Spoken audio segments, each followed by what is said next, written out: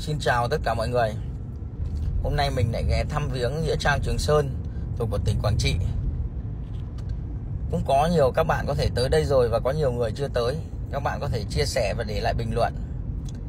Hôm nay tôi đến đây thì thấy rộng quá thì tôi sẽ ghé vào thăm các anh hùng liệt sĩ của tỉnh Thái Bình. Tỉnh Thái Bình cũng là tỉnh quê gốc nhà tôi. Thì tôi tới đây cũng có dâng hương dâng hoa.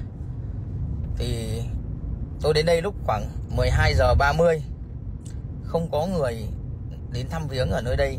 Vào buổi trưa, có một mình tôi thôi. Bỗng dưng người tôi nó lạnh toát hết lên. Giận hết da gà luôn. Tại vì tôi nhìn thấy quá nhiều mộ. Lần đầu tiên mà tôi nhìn thấy nhiều mộ như thế. Thật là không có cách nào để tả được. Tôi chỉ biết cúi đầu và kính trọng biết ơn những người đã hy sinh để cho chúng ta được đến ngày hôm nay thôi. Như cái chị bán nhang có nói với tôi là muốn thắp muốn ngôi, ngôi mộ một một cây nhang ấy là phải mua 10 bó thì mới đủ được cho tất cả các liệt sĩ của Thái Bình. Là riêng Thái Bình hình như là có 677 ngôi mộ.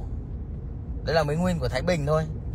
Còn tất cả các tỉnh khác thì tổng ở đây là có 1263 ngôi mộ cơ thì tôi cũng có đi thăm các ừ, khu khác nhưng cũng không thăm hết mà không thắp nhang hết được. Thật sự là tôi khuyên các bạn các bạn trẻ hãy đến đây một lần và để cảm nhận được sự ờ, hy sinh của những ông cha ta đi trước.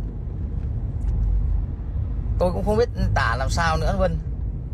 Ngoài sức tưởng tượng của tôi và thấy chỉ biết kính trọng và biết ơn thôi.